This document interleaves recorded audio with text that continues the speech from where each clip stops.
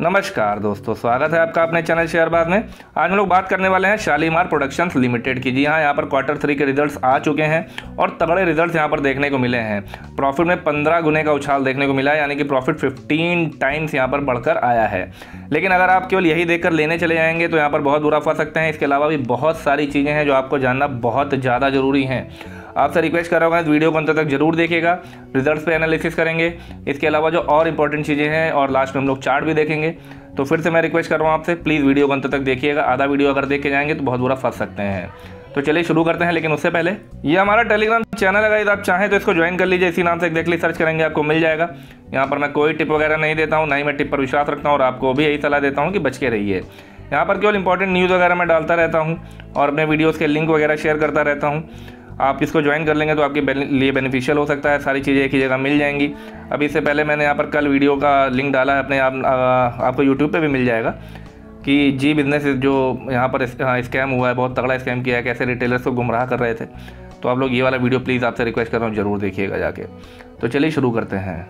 तो रिजल्ट्स की तरफ़ बढ़ने से पहले गाइज़ पहले हम थोड़ा सा नज़र डाल लेते हैं मार्केट मूड इंडेक्स पर। आज आपको स्मॉल कैप और मिड कैप स्टॉक्स में अच्छी खासी गिरावट देखने को मिली है। बहुत सारे मेरे पास मैसेजेज आ रहे थे कि, सर, क्या हो गया ऐसा अचानक से?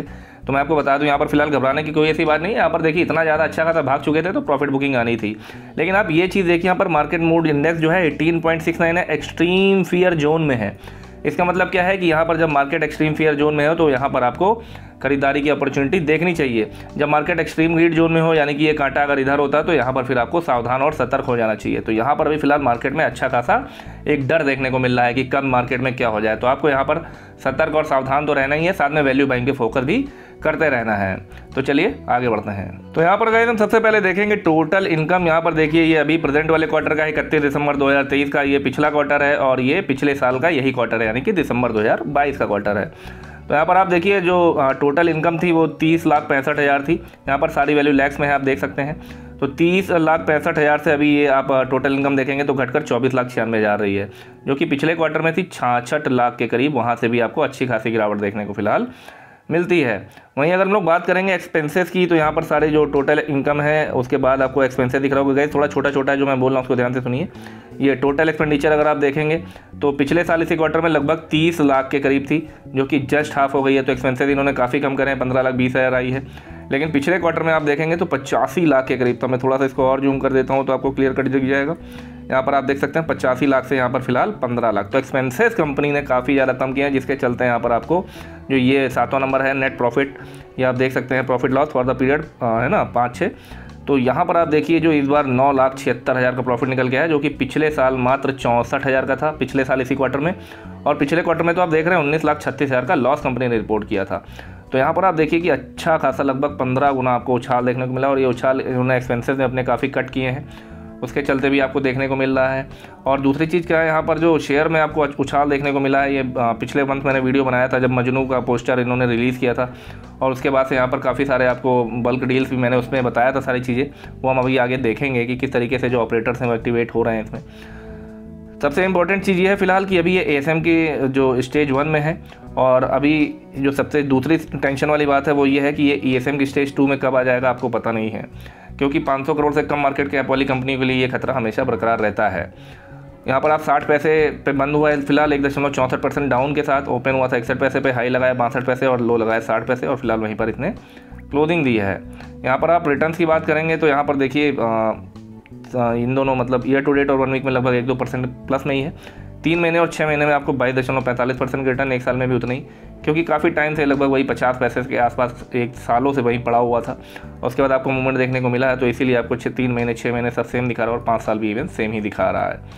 तो यहाँ पर ये चीज़ आपको समझनी होगी। बात करेंगे हम वॉल्यूम की तो आज चौवालीस लाख का वॉल्यूम देखने को मिला है। कल अगर आप देखेंगे तो लगभग छप्पन लाख का वन वीक एवरेज इकतालीस लाख और वन मंथ का एवरेज चौवन लाख है। तो वॉल्यूम आपको लगभग लगभग आपको सेम ही देखने को फ़िलहाल मिल रहा है, लेकिन ठीक देखने को मिल रहा है। यहाँ पर मार्केट कैप की बात करेंगे तो उनसठ करोड़ का है, पाँच सौ करोड़ से काफ़ी कम है। तो यहाँ पर एक चीज़ आपको समझ में आ जाना चाहिए कि कब ईएसएम की स्टेज टू में आ जाएगा और कब यहाँ पर इसमें पीरियोडिक कॉल ऑप्शन शुरू हो जाएगा। जहाँ पर आपको शेयर बेच पाना बहुत मुश्किल होता है, हर घंटे ऑर्डर लगाने होते हैं। तो वहाँ पर आप रेगुलर ट्रेड जैसे होता है ना शेयर में आप खरीद लेते हैं, बेच लेते हैं तुरंत। तो वहाँ पर फिर आप बहुत बुरा फंस जाएँगे। तो ये चीज़ आपको समझनी होगी। बाकी आप देख सकते हैं कोई बहुत ज़्यादा कंपनी के ऐसे नहीं है फंडामेंटल्स की आप बिल्कुल उसमें एकदम आँख बंद करके खूब सारी कैपिटल लगा दें। मार्केट कैप बहुत छोटा है तो यहाँ पर पहले ही रिस्क बहुत ज़्यादा है। प्रमोटर भी बिल्कुल नहीं है। और डेट की बात करेंगे तो हाँ डेट नहीं है यहाँ पर debt to equity point zero one है केवल। तो ये चीज़ एक एक यही एक पॉजिटिव है कि यहाँ पर कंपनी के पास डेट नहीं है। उनचास पैसे का लो लगा था, सत्तर पैसे का हाई लगा था, जो कि अभी थोड़े दिन पहले ही लगाया और फ़िलहाल अभी साठ पैसे पे ये चल रहा है तो बुक वैल्यू से भी फ़िलहाल अपने सस्ता चल रहा है। यहाँ पर आप देख सकते हैं गाइस लगभग दिसंबर, पूरे दिसंबर के दिसंबर महीने में देखिए कितने भयानक तरीके से दिसंबर और जनवरी में। यहाँ पर आपको सब दिसंबर देखने को मिल रहा है, दिसंबर दो हज़ार तेईस। और रिसेंट वाले अगर आप देखेंगे तो इकतीस जनवरी तक यहाँ पर देखिए इन भाई साहब ने इकतीस जनवरी को अट्ठावन पैसे पे सेल किए हैं इतने ये शेयर्स हैं। फिर इसके बाद परचेज़ भी किए हैं इकतीस जनवरी को। एक क्वांटिटी इन्होंने परचेज़ किया शायद गलती से कर लिया होगा। नहीं तो एक क्वांटिटी तो, तो ये लोग लेते ही नहीं है। और यहाँ पर आपको सब दिखेंगे। यहाँ पर मल्टीप्लायर ये भाई साहब तो आपको पता ही कितने फ़ेमस हैं। ये तो अक्षिता कॉटन वाले भी हैं और सब में गोयल और सरा सब।